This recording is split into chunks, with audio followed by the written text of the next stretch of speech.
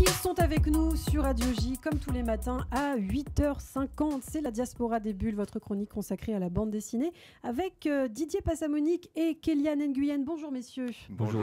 Vous êtes tous deux collaborateurs au site ActuABD, vous- dont vous êtes directeur de la rédaction, Et Didier. Kéliane est le secrétaire de la Et rédaction. Kéliane est le secrétaire de la rédaction d'ActuABD, vous avez raison de le préciser. Justement, Kéliane, eh bien, je me tourne vers vous. Aujourd'hui, on part sauver des animaux.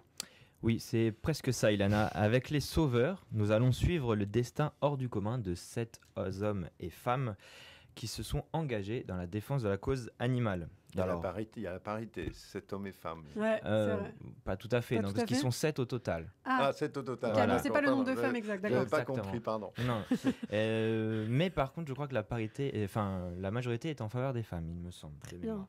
En tout cas, euh, pour donner quelques noms, on a euh, Rob Stewart, on a Diane Fossé ou encore euh, Chanet.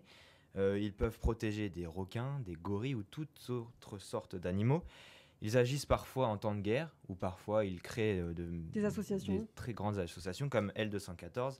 Mais en tout cas, ces sept sauveurs sont de véritables héros. Plus fort que les super-héros même. hein. Alors complètement, il y en a même qui ont donné leur vie pour euh, la cause, comme euh, Diane Fossé par exemple, qui, euh, qui s'est fait assassiner dans le cadre de sa Ah ouais protection des gorilles, tout à fait. Ou par exemple Amir Khalil qui euh, quasiment chaque jour slalom entre les balles pour sauver les animaux pris au piège sur les champs de bataille. Ce sont des activistes vraiment surhumains. Bah alors, c'est ce que vous nous racontez là, c'est quand même assez euh, terrible. C'est pas trop dur pour une BD jeunesse? Alors oui, effectivement, c'est une BD jeunesse et donc les termes sont durs, mais euh, le destin de Xu Ying Ya sont très très proches du cartoon, ce qui donne une, une légèreté euh, complète euh, et un humour avec ses gestes et ses mouvements démesurés, et ce qui fait que cette BD est vraiment parle à tout le monde.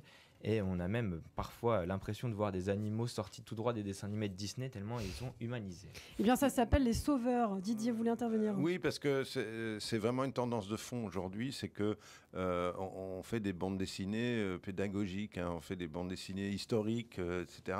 Mhm. Et c'est- cette bande dessinée d'usage, euh, qui n'est pas une bande dessinée de fiction, euh, est, est en train de prendre une place absolument im- importante euh, en librairie. Et j'ai un éditeur qui m'a fait une réflexion en disant. euh, 2021, la bande dessinée était numéro 2 dans les ventes. Euh, elle risque de passer numéro 1 en 2022, précisément parce qu'il y a toute une série de ces ouvrages un peu Mhm. pédagogues euh, Ouais. qui, qui touchent euh, à tous les sujets de l'actualité. Et euh, ici, on en a un, effectivement, dans un style un peu enfantin. un Mais peu la, pro- cartoon. la protection des animaux, c'est effectivement euh, très important. Donc, ça s'appelle Les Sauveurs par Xiong Yong-ya, Fabien Morin, Julien Derin et Laurent Hopman. Bravo pour la Mm. prononciation Je sais, du merci chinois. beaucoup. hein, Merci, je vais me mettre au mandarin très bientôt.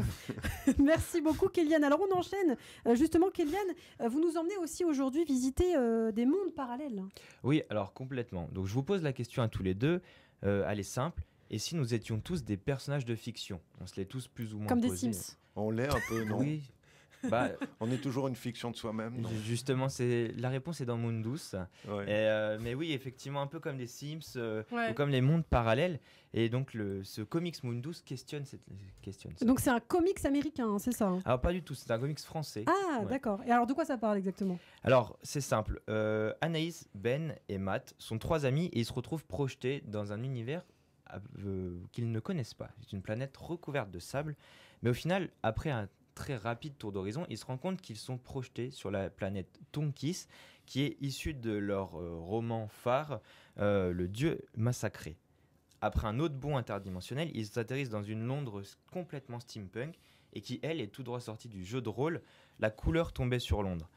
Et donc, euh, rajoutez à cela euh, deux terroristes cyberpunk et vous avez un super Mhm. comics d'aventure. On a un peu l'impression d'une mise en abîme finalement. Alors, complètement. Et vraiment, le travail est assumé par le scénariste euh, Laurent Kessy. Il s'est librement inspiré de Lady Space d'Alan Moore ou encore des travaux de Philippe Cadic ou de Grant Morrison.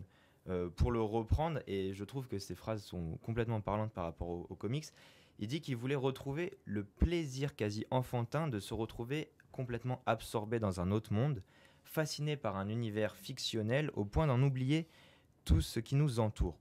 Et pour résumer, très concrètement, c'était l'image du gamin allongé à plat ventre, plongé dans, son, de- dans sa BD, dans, dans son livre.